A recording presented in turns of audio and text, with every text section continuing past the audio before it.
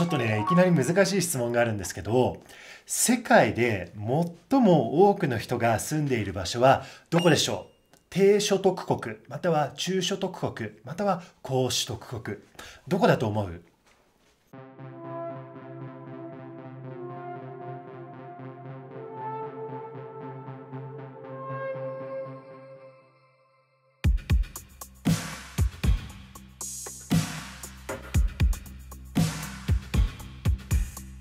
なんか特に2020年って結構バッドニュースが世界で広がっていたじゃないですか。ね、本当に大変なことになっているっていうことなんだけどちょっと今日はなんか世界のマスメディアではそんなに見ないポジティブないいことのニュースをお伝えしたいなと思っております。やっぱり世界には極度の貧困の人がめちゃくちゃ多くてでこれからは、えーと、地球が温暖化になってでものすごい大変なことになって水が足りないとか食べ物が足りなくなっちゃうとかでもっと極度の貧困の人がの数が増えてもう地球の未来が大変なことになっちゃうってずっと思ってたんですけどちょっとね僕データを見てるといやいやいやいや実は人類ってすっごいものすごい奇跡のようなスピードで good な場所に進んでいるんだっていうのがデータで見ると明らかになったんだよね。で、これについて紹介したいんだけど、ちなみに最初の質問あったじゃん。世界で最も多くの人が住んでいるのはどこでしょうっていうの。この答えは中所得国なんだよね。でね、もうちょっと質問があるんですよ。で、この2つ、じゃあちょっと2つ質問があって、この2つの質問を答えられたら結構すごいよ。じゃあ最初の質問ね。世界の1歳児の中で何らかの病気に対して予防接種を受けている子供はどのぐらいいるでしょう？ね。A、B、C。どっちだと思う？答えは80%なんですよ。ね。じゃあちょっと難しい最後の質問。これわかるかな？け世界の人口のうち極度の貧困にある人の割合は過去20年でどう変わったんでしょう、ね、A、B、C どうだと思います？実はね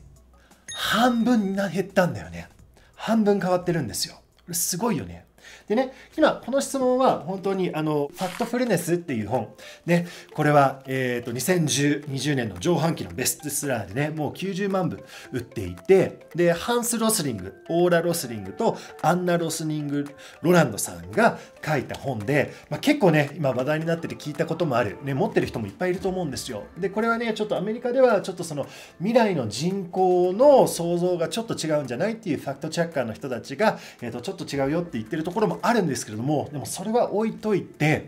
かなりすごい情報がいっぱい入ってるので僕は本当にこれをおすすめの一冊なんだけどこれだけじゃなくてちょっと面白いデータを紹介したいんですよ。ね、例えば1925年からアフリカの平均名っていうのは26.4歳だったんだよね。でもこの過去の30年に奇跡みたいなのがあって今はね2015年の平均名は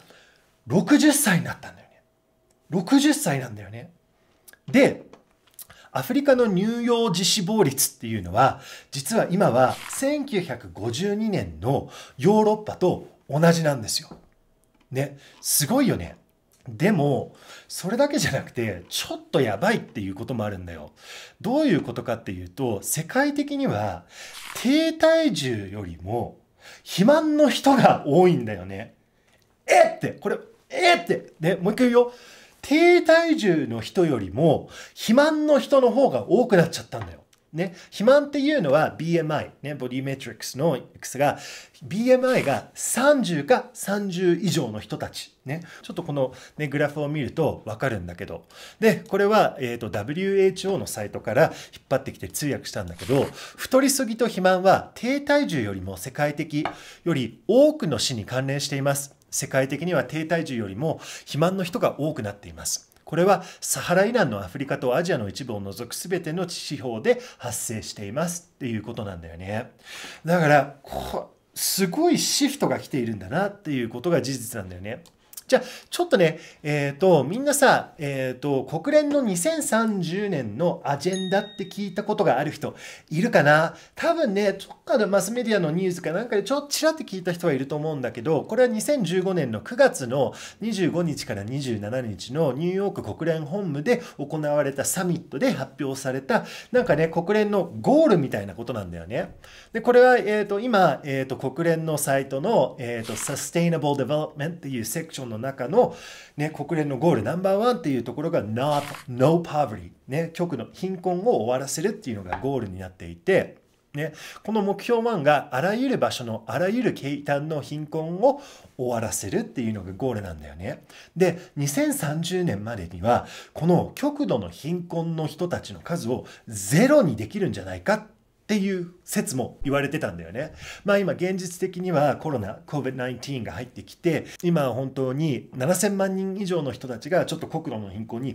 また入っちゃったっていう現実なデータもあるんですけれどもねでもいわゆるもうちょっとこういう感じで進んでいったら極度の貧困の人の数がマジまあ、ゼロには多分永遠にはできないと思うんだけどすごく減ってくることができるっていうことが現実なんだよね。でちょっとねこの極度の貧困って何なのっていう ねことなんですけれども、ね、貧困にもレベルがあって極度の貧困っていうのは、ね、英語にすると objective poverty または extreme poverty って言ってこれは1日アメリカドル1ドル90セント以下で暮らしている人なんだよね。ね、1ドル90セント以下で暮らしている人たちがこの極度の貧困っていうカテゴリーに入ります。でね、本当に2020年から2012年の間で極度の貧困の数の人たちが50%減ったって。で、もっと深く入っていくと、1999年には世界の人口の36%が極度の貧困だったんだけど、今は2015年が10%なんだよ。1割、世界の1割が極度の貧困なんだよね。だからこれは本当に、えーと、12のルールのジョーダン・ピーターソンとかがマジマジ言っているのは It's an economic miracle、ね、このエコノミーの経済的な奇跡だって言われているんだよね。本当にこんなに、ね、極度のこの数が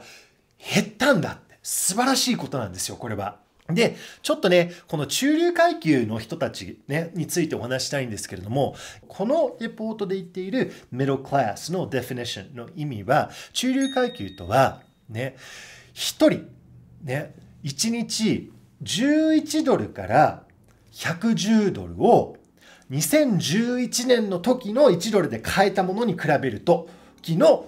数字っていうことなんだよね。まあ、ちょっと簡単に説明すると1日に11ドルから、まあ1000ね、1100円から1ドルが100円だったら1100円からね1万1000円を1日使える人たちはこの中流階級に入るんだよね。で今はこの中流階級と高流階級の人たちの数を合わせると極度の貧困とね、貧困の数の人たちより増えてるんだよね。2018年の9月にこのティッピングポイントっていうのをが地球で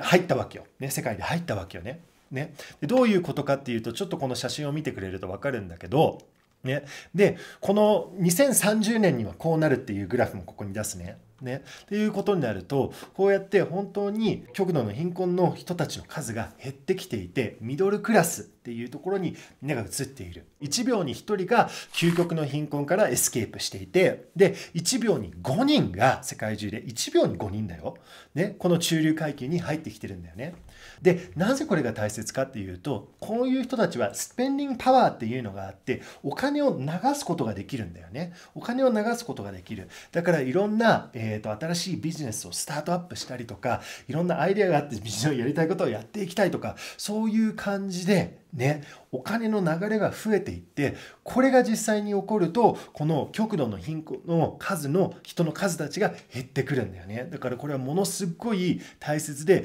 僕は個人的に中がすっごいいいことだと思うんですよ。でもう一つ面白いこれはデータがあってこれはジョーダン・ピーターソン博士やな12のルールを書いた、ね、人が言ってたんですけれどももし1人の人間が年間5000ドルの収入5000ドル以上の収入があると環境問題に気を使ってくるんだって。ね、だから世界の環境問題ねゴミの問題とかねそういうことにプラスチックのゴミとかねプラスチック使いすぎとかそういうことを直していきたいね、そういうことを変えていきたいんだったら、ね、自分の年収が、ね、5000ドル以下。まあ、1円があの、ね、100円が1ドルだったら年収50万円以下だったらもう本当にサバイバルレベルになっているからプラスチックのゴミとか全然気にしないんだって。でも5000ドル以上になってくると自分がそういう環境のことに気を使えるようになってくるっていうことがあるので本当に僕たちが地球で環境問題っていうところにチャレンジタックルしていきたいんだったらまずはこの極度の貧困からこの中流階級に人類人口が動いていくっていういうのがめちゃくちゃ大切なことなんだよね。でもっとさらにグッドニュースがあるんですよ。なんとさ世界で最も究極に成長している国ってどこだと思う？ね、やっぱりアメリカとか、ね、いやでも中国が追い込んで,、ね、で日本がちょっと下がったとかだから中国1位、えーと、アメリカに日本3位とか僕思ってたんだけど実際に調べてみると、ね、実はこのサハライナンアフリカの国がすっごい強いんだよね。でちょっとこれは、えーと、2019年から2024年の、えーと、GDP パーセンテージ、ね、予測されている GDP も含めて平均したデータを求めると世界で最も成長する国はロワンダが、ね、GDP7.7% ルワンダ。2位がバングラデシュ。で3位がセネガル。で、4位がエチオピア。で、5位がミャンマーなんだよね。だからこのトップ5にサフラ、サハライナンアフリカが3区に入ってるんだよ。すごいことなんだよね。で、よく世界っていうのを考えてみると、結核ね、言われているのが、結核ももしかしたら頑張ったら2045年までにはなくすことができるかもよって言われてるんだよね。だからこれ、すごいことなんですよ。人類のことをね、考えていくと。で、この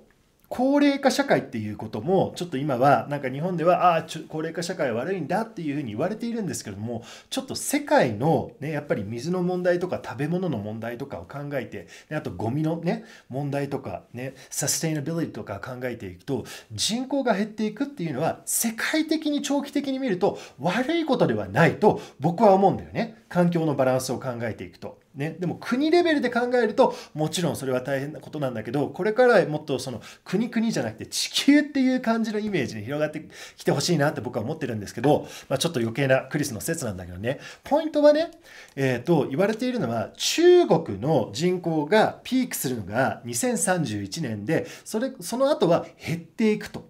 でインドもね、2059年、まあ、2060年ぐらいになるとこのピークが終わって今度減っていくんだよね。だから日本みたいにね、あの高齢化社会っていうのも中国とかインドにももっと何十年後になるんだけど、そういうことも始まっていくんだよね。でちなみにさ、面白い余計な話なんだけど、これ面白いよ。中国のエンジニアたちの数が今ものすごいよね。でどのぐらいすごいのかっていうと毎年エンジニアとして大学を卒業する人の数がねアメリカ全国のエンジニアの数より多いのね。毎年だよ。毎年エンジニアで卒業する人たちがアメリカ全国のエンジニアの数より多いんですよ。すごいよね。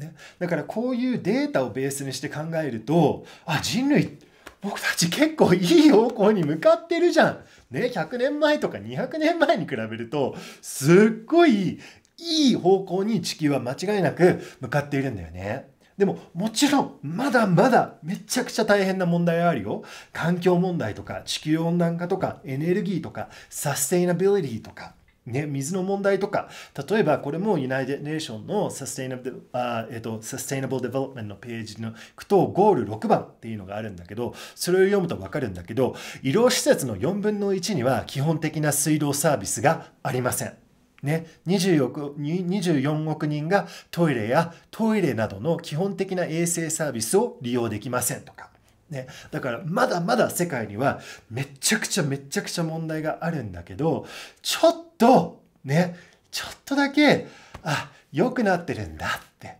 ね本当に。でこれどのぐらい良くなっているの？っていうと奇跡のように良くなっている部分もあるんだよね。間違いなく。だからね、ちょっとこれがグッドニュースになってくれたら嬉しいなって。もちろんもちろんまだまだ頑張っていくところがあるんだけれども、こうやってみんなでお互いに頑張っていくことができれば嬉しいです。Alright, you guys, thank you so much ね。こういう情報をシェアさせていただいてありがとうございます。で、自分でファクトチェックしたかったら、この説明欄にいろんな僕が引っ張ってきた情報を入れてますので、ぜひ自分で見て、ちょっと英語のやつが多いんだけど、Google 通訳とか使えますのでね、調べてみるのもどうでしょうか。Alright, thank you so much for checking out this video. もしこれが良くなった、面白いなと思ったら、プラスボタンを押していただければ幸いです。I'll see you guys next time. ありがとうじゃあね